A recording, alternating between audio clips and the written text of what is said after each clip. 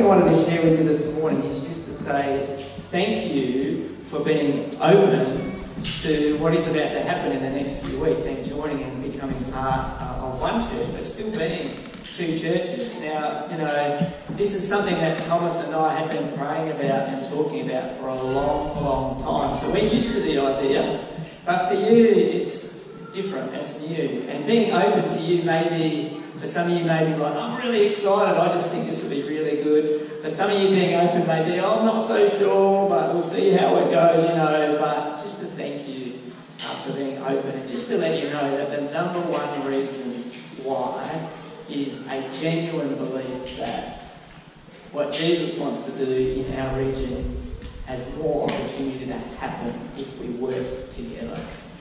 That's the bottom line. There's so many other reasons that I could share. And just for a few minutes, because I've actually got to rush back and preach another sermon in a minute uh, at our second service, just wanted to share with you a little bit of the heart of Cornerstone. And to do that, I've brought blocks. and the logo uh, for Cornerstone is actually three coloured blocks, one on top of the other. You might have seen it around the place. Uh, but just to say to you, the heart of Cornerstone starts with that red block. That red block stands for Jesus Christ. He is our foundation. He is our cornerstone. And He is the one who changes people's lives. Yeah? And the heart for Cornerstone, as I'm sure it always has been for you guys, and all the more so as we work together, is if one person experiences the life changing power of Jesus, it's worth it. Everything we do is worth it for that one. We believe in the one. It's not about being big or grand or achieving this or achieving that. At the end of the day, the heart of our vision is one person who may have the opportunity for Jesus to change their life. The second block there, the green block, represents the church. The first vision statement is a changed life. The second vision statement is a thriving church. And just believing that the heart of Jesus is for his people to come together and to join their lives together and to come together in community, in relationships, one with another, and to express what he wants to do and who he wants to be together uh, as, a, as a one. And let me tell you, we are definitely not in any way, shape, or form planning, planning to come here and run your church for you.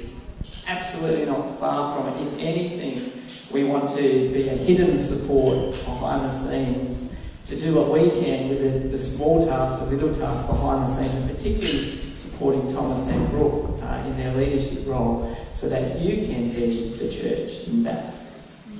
And even more so, you can be that green block that is thriving and express the life that you have. The small things that we can do, we've started to do a bit of work behind the scenes in the last week or two, a lot of pickly stuff, but it's all about being a thriving church.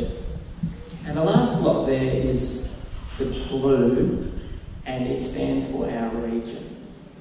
And the blue, you know, can represent many things. It can represent the bay. You know, we're on the bay. It can represent the ocean. It can represent the work of the Holy Spirit, that we just long for God's Spirit to come into our region and to do a very special work of God.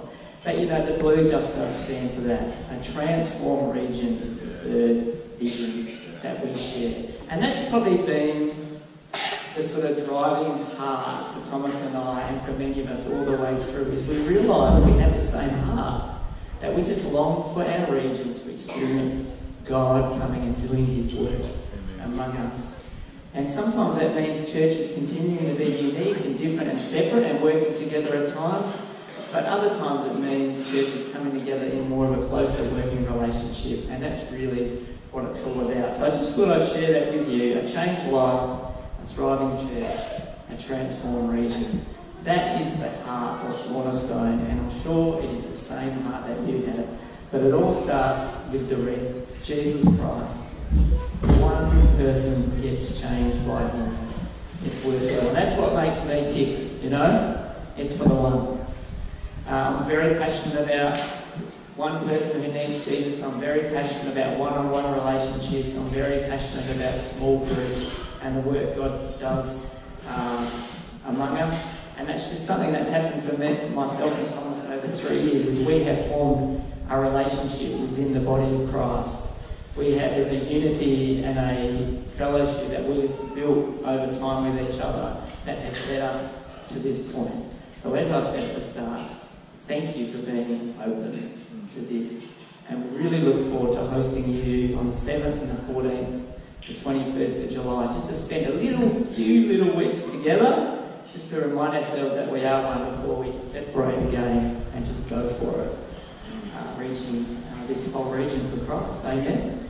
Let me pray, and then I'm going to have to scoop off. Yes, Father, we just thank you this morning for the gift of the Lord Jesus Christ that we've been singing this morning. Lord, He is our victory. He is our life. Lord, everything we have is because of the grace that you've poured out from Him. We are completely, Lord, reliant. We're completely trusting in Jesus. Without Him, we have absolutely nothing.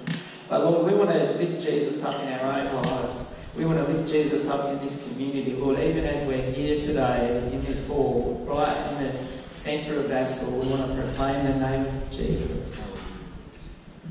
And we do pray for the one.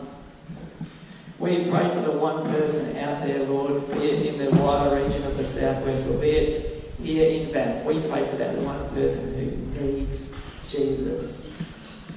That our heart, Lord, will be your heart that you, Lord Jesus, are the one who goes after the lost sheep, the one who's away. And Lord, far be it from us to try to be you. but Lord, may we be joining you. May we be vessels of what you are doing. And whatever way that looks like for me, for each of us, whatever, whatever that looks like, in our unique being, Lord, may your grace, may your Holy Spirit be at work, we pray.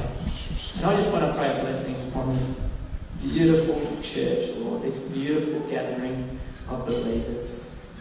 We thank you that this blessing we have is based on the Trinity, it's based on who you are, that we are an expression of the unity in the relationship of God. And I just pray a greater blessing, a greater depth of relationship, a greater unity, a greater closeness, a greater expression of love, a greater expression of worship, a greater expression of growth and transformation upon this group, we pray. In Jesus' name. Amen. God bless you. Awesome to be here. I might just sit for a few minutes because I just want to feel what it's like. then I have to disappear. So God bless. Awesome. But I just wanted to say a quick prayer blessing. I think blessings are empower, uh, very powerful.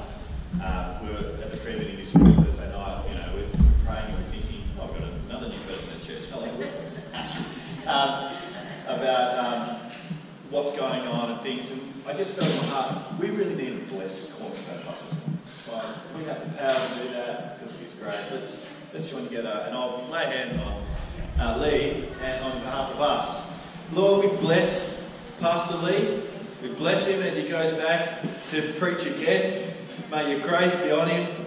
May he just be buzzing in the things of you and in your spirit, Lord, as he shares your word. Let it just open up and be beautifully poured out on the congregation over there as they meet.